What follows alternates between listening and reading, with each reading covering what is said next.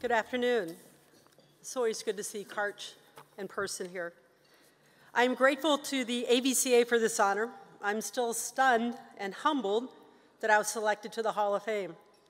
In fact, I didn't believe it when I re returned the phone call to the 859 area code. First, I didn't believe it was Kathy DeBoer on the phone. Genius is Kathy DeBoer. I go, no, really, who is this? And she goes, no, this is Kathy DeBoer. I go, no, seriously, come on, don't dosh me. Who is this? A stern Kathy DeBoer said on the phone, Jean, this is Kathy DeBoer, and you have been selected to the AVCA Hall of Fame. My next word was, wow. It was like a scene from Field of Dreams. You see, I was in the hospital with my family when I returned the call. My sister Kathy was in surgery to remove a malignant tumor wrapped around her kidney.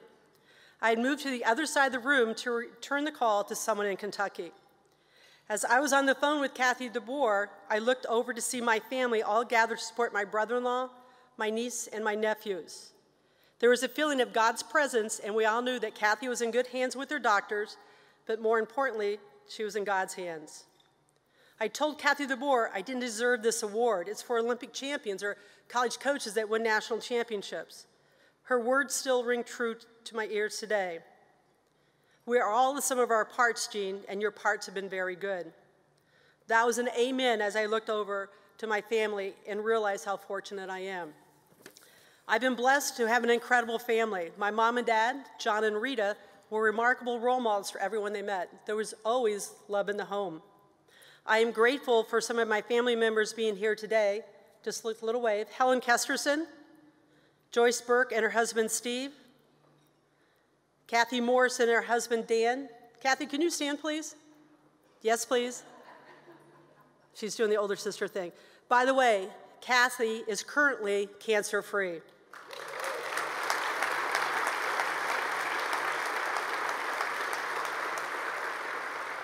Not present are my sisters, not present are my sisters, Therese Holbrook, Rita McGuire, Patty Serrata, Karen Bueno, and Mary Smith. Wait, wait. I do have one brother named John. So I'm from a family of nine girls, one boy, and John was number nine. I did tell you there was always love in the home. I have been blessed to have some incredible men and women as assistant coaches, especially Rhonda Lau, who's been part of our coaching staff for 26 years. She has won nine state championships on the boys side, in addition to the eight with the girls program.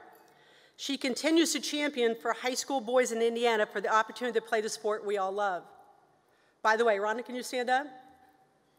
Are you standing? Okay. She is a two-time cancer survivor.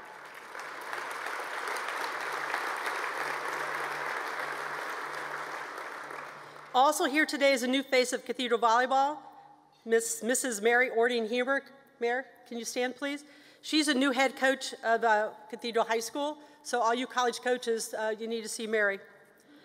I am grateful for Miss Alice Underwood for creating the GAA, not golf for you young coaches, it's the Girls Athletic Association. She started at Chatard High School. This allowed me my first opportunity to play volleyball. I was excited because it was something besides CYO kickball, because growing up, that's all we had. I want to thank Dr. Barb Curcio for keeping the women's volleyball program going at Ball State University at a time they're ready to disband it. I can't fathom Ball State without a volleyball program. I would like to thank Dr. Don Shondell for bringing his men's team over and teaching us the basics of the game. A few years ago, I had opportunity to sit next to Dr. Don at a men's volleyball game. It was like sitting next to a youngster in a big fireworks. Oh, wow, oh, oh my, oh golly gee. And, and here's what I thought.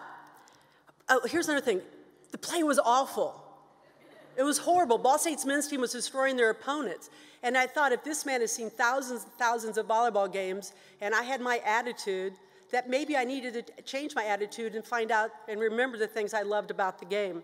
And so it kind of had an impact at that time. I want to thank all the women I had uh, the privilege to play with and against. I believe that every player on our team realized the, exactly what, that we are part of a movement to change women's sports at every level. We didn't have everything the players have today, but we had the opportunity to play the game that we love with the players who all competed because they loved the sport.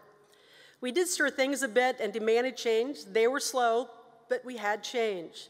Yes, I've been thrown out of men's athletic directors twice in my life. Very proud to say that. And you women at my time, you'd know what I'm talking about. I want to thank Valparaiso University for taking a chance on a 25-year-old and provided valuable experience, first as a volleyball coach and instructor of physical education, later as an assistant athletic director, coordinator of all the summer camps, supervised the swim team. I even had an opportunity to start the, start the women's softball program at Valpo. By the way, this is all at the same time. Recently, I've been blessed to have coached at Cathedral High School for 27 years. I've been blessed to have coached some incredible young ladies, you saw some of them in the film, with wonderful parents at a school that supports the volleyball program, win or tie. Did you hear that, Mayor? Okay, God love you. It has been a gift not only to coach them, but to watch them grow and develop into outstanding professionals, doctors, lawyers, executives, in addition to being wives, mothers, and active members in their community and church. I've even had the opportunity to coach my kids' kids. I was especially blessed to have coached with my dad, Mr. Coach K, for nearly 20 years. He was my hero and inspiration to everyone I met. In fact, at Cathedral High School, the upstairs gym is named in his honor. I still look back to the call when questioned, why me? Kathy DeBoer said that we're some of our parts, and my parts have been very good. She's right. I've been very blessed. Thank you for the honor.